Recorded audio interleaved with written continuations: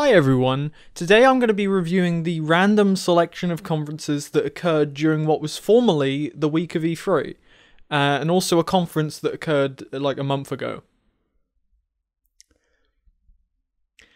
Let's go!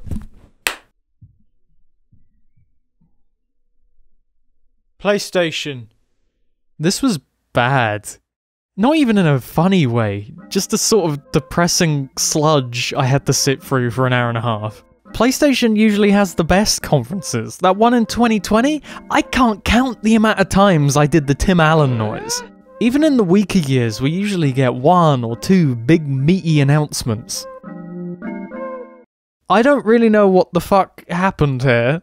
They've obviously been investing massively in live service games, and these are the fruits of their labour finally showing up. But live services don't really work in an E3 environment, and they definitely don't work when all you're showing is a CG trailer. Fair Games, Concord, Marathon, I don't know how any of these play. Concord especially, which for some reason is the one that's closest to release. If I have to look up what genre your game is after a trailer, I think the trailer may have failed. Marathon visually looks great, but the words PvP extraction shooter is such a buzzkill. And Fair Games just looks bad. I, I don't know why they started the showcase with this, but this is like the most forward-thinking, generic shit possible. It's kind of hard to describe, like, its visual style is unique at the minute, but give it three years and every video game is gonna look like this. We got a trailer for a fucking movie. Oh my god, are you kidding me? We got some PSVR 2 games. Synapse looks cool. RE4 looks cool. I still don't see a reason how anyone could justify spending 500 quid on this thing. Metal Gear Solid Triangle got announced. oh shit! What?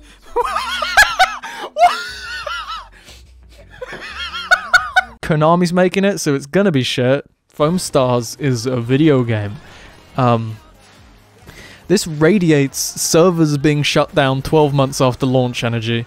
Oh god, and that Wii U gamepad? Good lord! Later this year, we will launch a dedicated device that enables you to stream any game from your PS5 console using remote play over Wi-Fi. oh no! Did does Sony not do like market research? Who do they think is going to buy this?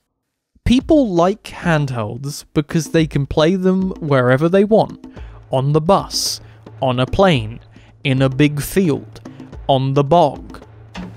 There's only one of those situations that you can realistically achieve with this, and even then, it's probably going to be a laggy mess, probably with a gigantic price tag, with the most obnoxious design possible. This is the most boring way you could try and hop on the handheld bandwagon, and I cannot see this being bought by anyone. G good job, guys! Out of this entire conference, there were only five games that stood out to me. One of them was Alan Wake 2 which looks unbelievably good. I never clicked with the first one, but this just looks stunning, and the premise for it too is fucking great. So please be good. Phantom Blade Zero looks absolutely unhinged.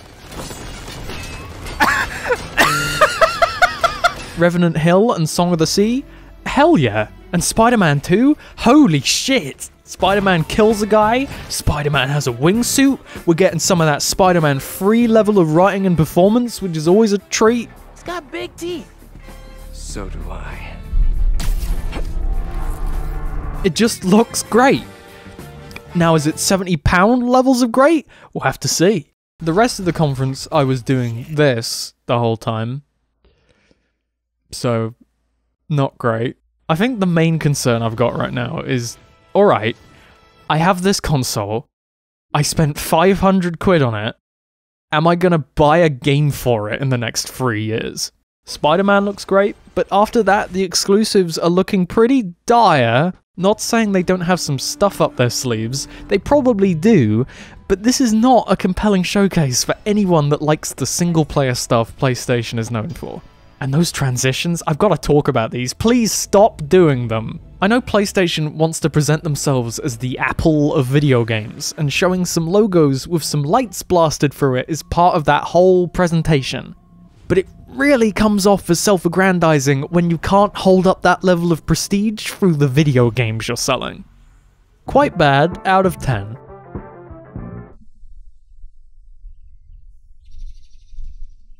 Geoff Keighley's big show. Historically, Summer Games Fest has always been very underwhelming, so I wasn't really expecting a whole lot here, but we got some alright stuff. Nothing remotely mind blowing, but I wasn't pulling this face through the whole thing.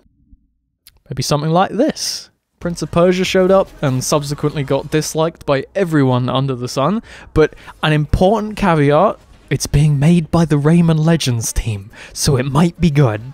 Yakuza looks great, Lies of P looks great, there's a new 2D Sonic, which is being made by Sonic Team, oh lord. Alan Wake 2 got some gameplay, Come to Daddy, yes please. Spider-Man 2 got some box art, oh shit, and some concept art, and a date. Why wasn't this at the Sony showcase? New Fortnite season with Optimus Prime? Yes! Nick Cage is getting added to Dead by Daylight, and just look at the graphics on this guy. It just looks like the real Nick Cage.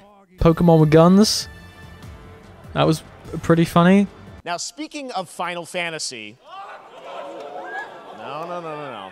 Today during Summer Game Fest, DoorDash has your back. Get, you get a free burrito when you order from Final Fantasy VII Rebirth. I don't really care, but I will forever hold it against Geoff Keighley for hyping up what easily could have been Elden Ring DLC, only to be slapped in the face by Final Fantasy. What you're about to see is a new look at an expansive world. This game comes from a studio that redefined the RPG genre, its iconic characters, and rich storytelling for one of gaming's most anticipated upcoming releases.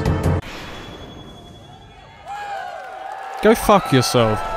There was also a lot of bad stuff. There was a lot of bad stuff. Half of the show I was almost asleep. Porsche themed Xboxes. Thank you for informing me, Geoff. This will definitely make me buy an Xbox or a Porsche. Twisted Metal looks like the worst thing ever made. Video game adaptations are back where they belong. A hell of a lot of very generic shit that almost made my eyes roll out of my skull. So, yeah. Not a good show. Yeah! Summer Games Fest still has a long old way to go before it's remotely worth tuning into and not just skim reading an article after the fact, but this was b- better. Give them five more years, and maybe I might even break a smile while watching it. A little bit less bad out of 10.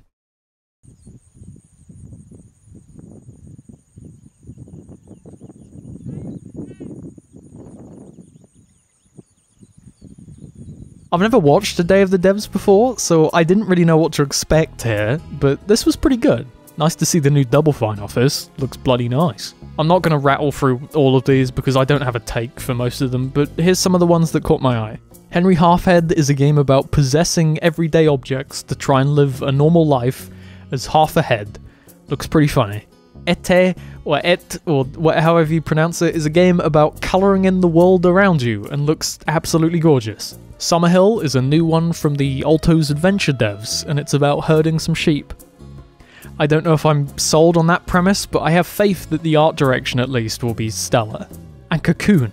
Good god, that game looks good. Last year's trailer didn't really catch me, but the second they started showing off how many layers deep you can go with the universes inside of universes inside of universes, my ears picked up. If I was a betting man, and I'm not, uh, I would bet this one would be pretty good. Nice office redesign out of 10. Devolver. Devolver always do these over the top showcases that take the piss out of every other conference. Sometimes they're really good, sometimes they're not good and drag out the joke to ridiculous lengths. The last few years have been really lore heavy, and I, I just don't care about the lore for some video game conferences. But this one was a full reset. This one's about Volvi, a very real, very famous mascot character Devolver had back in the day, and it's really fucking funny. Oh my god.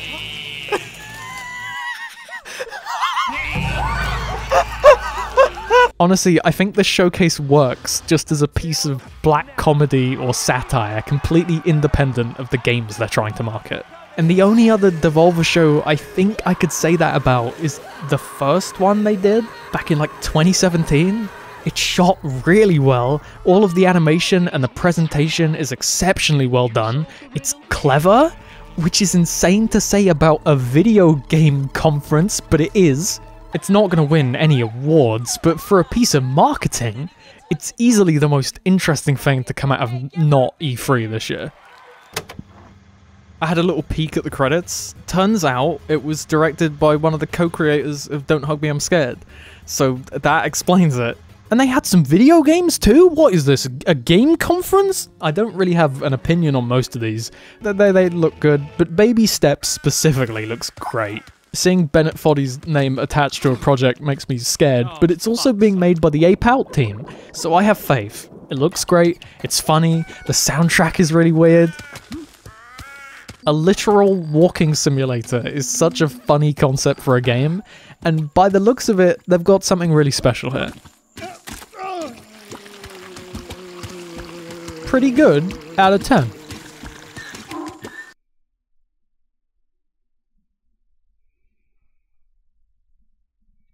Xbox. I always look forward to the Xbox conferences, not necessarily because they're always good, but because they're really just a list of games coming to Game Pass. Here you go, chum. You see all these? You don't have to buy any of them. You've already got them. As long as you keep giving me £8 a month. Last year's show was a little light on big deal announcements, and the all of these games are coming in the next 12 months promise is dated it horribly, but it was decent. So I was looking forward to another decent show. Honestly, it could have been just fine and it still would have been better than both of these. But Xbox went ahead and just said, screw it, let's do the best conference we've done in years. Gaming is the most powerful of all entertainment. It transports, it challenges, it connects us, and it's just incredibly and awesomely fun. that is why Team Game after game after game, all of them looking great. There's still a lot of CGI or in engine cutscenes, but at least those cinematics are for compelling looking games. Fable looks great. I, I don't have any attachment to this series whatsoever, but it's looking pretty good. Avowed looking very obsidian. Very hyped for this. Hellblade 2. My PC ain't gonna be able to run this shit. New Yakuza looking good. that Capcom Ninja game looking good. Jusant is a game solely about climbing big mountains, and I am very hyped. We got a boatload of new Persona stuff, which definitely didn't leak beforehand. Persona 3 remake? Hell yeah! They're only remaking the base game though. Why? Persona 5 XCOM? Sure, why not? Metaphor ReFantazio? Directed by the same guy who did Persona 5? With the prettiest pause menu ever made? I'll play that. We got Bioshock Infinite 2? Um, South of Midnight was nothing but a cinematic. I had to look up what genre the game was, which isn't good, but the art style and animation looks bloody lovely. Hi. John Wick! Holy shit! Guys, I spotted him! Cyberpunk Phantom Liberty looking gorgeous. A spy thriller set in that world sounds wonderful. Apparently, they're overhauling a ton of the base game too. It sounds too good to be true. And it probably is. City Skylines 2. Fuck all of this shit. This is the real important stuff right here. The announcement trailer a couple months ago had me really worried they were going to pull a Sims 4. Just look at that logo. It's so bad. But I needn't have worried because oh my god, this looks amazing. A massive evolution over the original game, with so many new systems, they've integrated some of the DLCs into the base game, which is nice. Paradox not being slimy for once. The UI could do with some work, and it looks like they've sanded off a lot of the charm, but visually, it's a massive leap. I am extremely hyped for this, and it's being dumped in Game Pass day one, so I'm a happy little boy. Now, Starfield. So obviously, it looks great. The sheer scale, the art direction, the sound design on the menus, love it. The shipbuilding looks hilarious, the combat looks great. I am ever so slightly interested in the plot. I want to explore all of this. I want to get lost in all of this.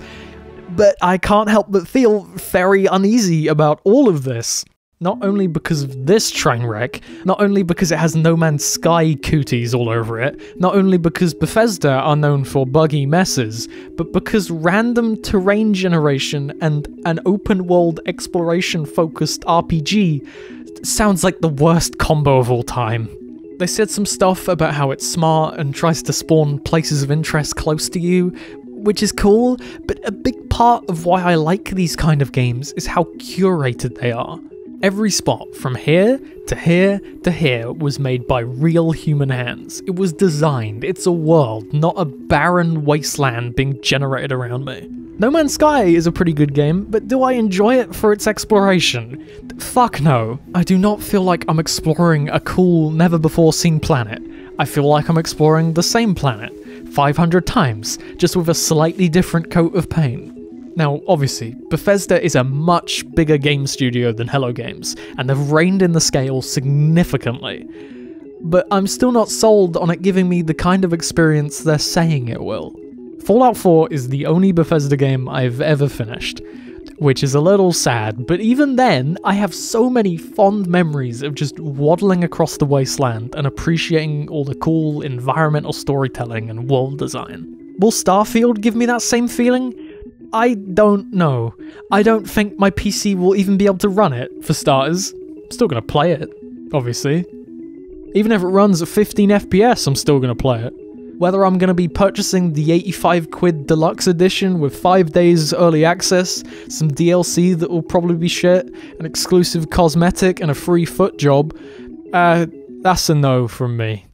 So, yeah. This is pretty good. I was really hoping for that Game Pass on Steam announcement. It's never going to happen, but I'm going to keep hoping until the day I die. But this overall was pretty good. Lots of games. The games looked good. Gameplay was shown. And I don't have to buy 90% of them. The bar was very, very low, but Microsoft proudly put one foot in front of the other and confidently stepped over it. So good job, guys. Proud of you. A grinning man out of 10. Ubisoft. I don't know, I don't fucking care. Avatar looks interesting. It's got two player co op, which is nice. I might play this. Star Wars Outlaws. This thing's pretty cute. Might be good. I, I don't have a lot of faith in this company. Nice to see Rayman again, though. Please let me escape this eternal torment out of 10. Capcom. I'm not doing Capcom. The PC Game Show. I'm not doing the PC Game Show. The future. I'm not doing the future game show or however many other random shows there were. There's so many. Frostpunk 2 is coming next year. Hell yeah. There's a new Citizen Sleeper. I still need to play the first one. Bloomtown looks pretty good. That's it. That's all the takes I've got. I'm all taked out.